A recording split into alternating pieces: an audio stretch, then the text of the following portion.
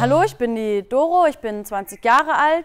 Ich mache eine Ausbildung zur Elektronikerin in Energie- und Gebäudetechnik. Ich bin jetzt im zweiten Lehrjahr. Wie ist das als Frau in einem typischen Männerberuf?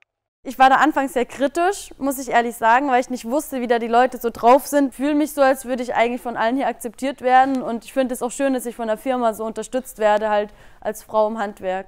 Ist deine Arbeit sehr abwechslungsreich? Jeden Tag erlebt man einfach was Neues und das finde ich ist das Schöne daran, dass man nicht immer das Gleiche macht. Wissen deine Mitmenschen eigentlich zu schätzen, wie wichtig dein Beruf ist? Mm, Ja, also es wird schon wertgeschätzt. Es gibt Kunden, die freuen sich dann natürlich, wenn irgendwie endlich wieder was funktioniert.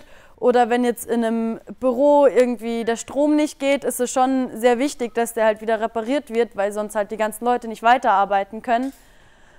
Oder wenn halt irgendwo was umgebaut werden muss oder ein Kunde, Kunde etwas Bestimmtes haben möchte, freut er sich natürlich auch, wenn man das dann so erfüllt und das auch funktioniert. Und das wird, glaube ich, schon wertgeschätzt, dass man das macht. Weißt du schon, wie es nach deiner Ausbildung weitergehen soll? Mm, Ja, schon ein bisschen, aber ich bin mir noch nicht ganz so sicher. Also ich möchte auf jeden Fall erstmal ein bisschen Erfahrung sammeln. Ich bin am Überlegen, ob ich eben in die Richtung Energie- und Umwelttechnik gehen möchte oder ob ich vielleicht einen Meister mache. Aber das ist alles noch nicht so ganz sicher. Aber ich möchte auf jeden Fall irgendwann noch eine Weiterbildung machen. Das ist so meine Idee. Hilfst du auch gerne deinen Freunden und deiner Familie bei kleinen elektrischen Problemen zu Hause weiter? Oder benötigst du in deiner Freizeit spannungsfreie Zeit? Mm, Nee, also eher so im Gegenteil. Ich mag das, wenn ich dann halt noch äh, irgendwie selber nach der Arbeit so kleine Tüftelaufgaben habe.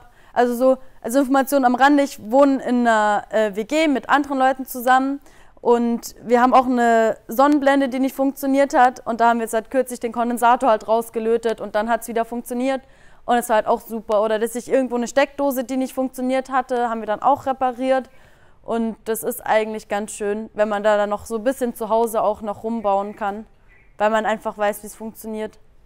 Was macht dir an deiner Arbeit am meisten Spaß? Also ich freue mich schon darüber, wenn ich äh, Dinge reparieren kann und wenn die am Ende auch alle funktionieren oder wenn ein Projekt einfach einen Schritt weiter ist. Das macht halt einfach sehr viel Spaß und es ist auch irgendwie ein erfüllendes Gefühl, wenn man halt weiß, dass man viel erledigt hat und auch viel gemacht hat.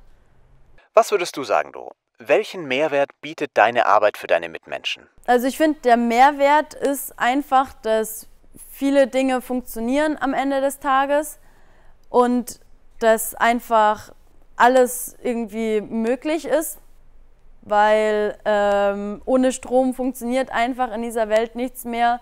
Sonst würde man zu Hause, der Fernseher, das Handy, würde alles nicht mehr funktionieren. Generell die Datenübertragung, das würde auch nicht gehen. Die ganzen Büros würden stillstehen. Und darum finde ich das einfach auch super, was wir machen.